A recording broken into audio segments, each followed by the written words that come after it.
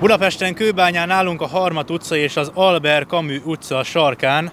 Kerületünkben keresve sem találhattunk volna ennél ideálisabb helyszínt az útfelújítás megvalósulásának és elmaradásának szemléltetésére. Kovács Robert polgármester úr évekkel ezelőtt arról tájékoztatta a kőbányai lakosokat, hogy az útfelújítások terveit 2019-re a főváros elkészítette.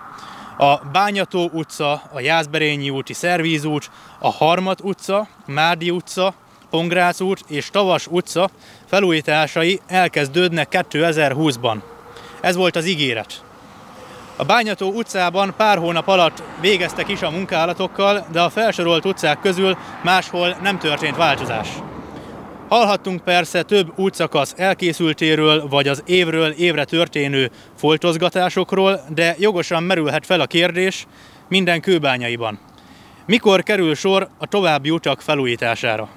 A 2019-es tervek óta eltelt négy év alatt miért nem haladtak a munkával?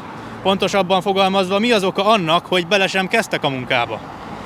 Több mint 8 éve van felmarva a Harmat utca túlsó vége, azóta folynak az előkészületek.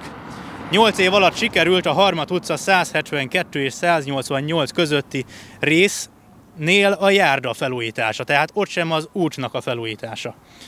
A Mi Hazánk budapesti elnökeként e-mailben kerestem meg a kőbányai önkormányzatot és a Budapest közút ZRT-t, hogy választ kapja kérdéseinkre, de ez idáig nem érkezett válasz miközben a 85-ös és 185-ös buszok utasai számára, ha nem is életveszélyes, de legalábbis kellemetlen a mindennapos zögykölődés, és a gépjárművek sorra mennek tönkre a kőbányai utakon az akár 10 cm-es kátyuktól, az önkormányzat büszkesége az itt látható Kamu út.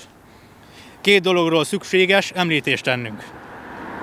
Már önmagában az is problémára ad okot, hogy egy híres francia íróról kapta nevét 2012-ben az akkor még nem létező utca, miközben egy Algériából származó kommunistáról van szó. A mi hazánkkal az előző rendszerből ránk maradt kommunista utca és közterület elnevezések megváltozásáért küzdünk évek óta.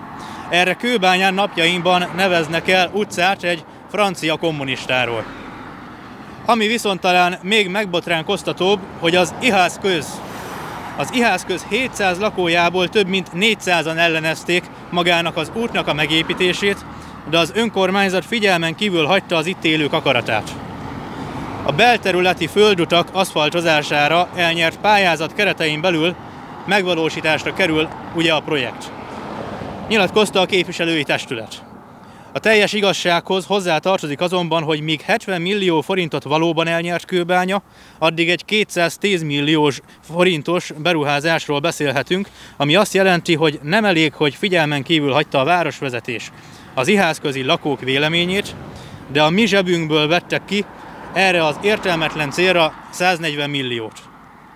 A korábbi 200 méteres iparvágány helyén, ami a hosszú évek alatt a természet órá lett, egy 6 méter széles, kétsávos, parkolóval, korlátokkal, szikkasztóárkokkal, járdával és közvilágítással ellátott út épült.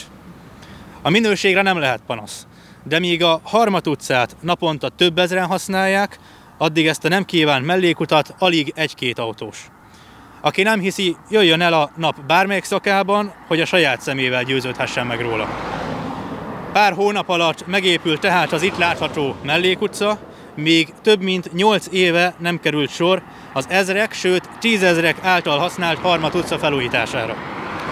A Mátyás király mesékből ismert Nekeresdi bíróval és kifordított korsó esetével vetekszik Budapest város vezetésének döntéshozatali képessége.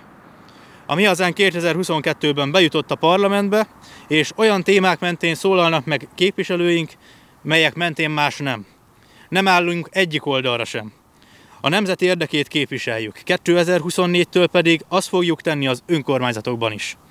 Ha a kőbányaiak számára a 8 éve felújításra váró Harmat utca rendbetétele fontos, akkor nem fogunk egy kommunistáról elnevezett kamútat építeni a választópolgárok pénzén 210 millióból.